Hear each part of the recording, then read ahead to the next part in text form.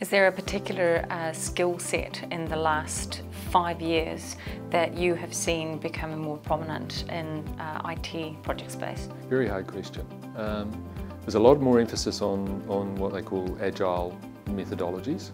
Um, that has become a bit more prominent, I think. Uh, in terms of project and program work, I'm not sure that that's really changed. The, the fundamentals are the same.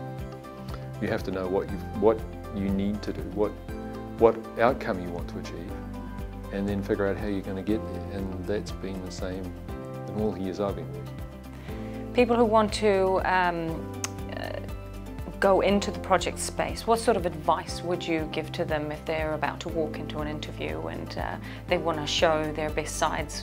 What, what, do you what do you recommend? If you want to enter enter this this world, first thing is you have to be prepared to make mistakes because only the mistakes that will teach you what you really need to know.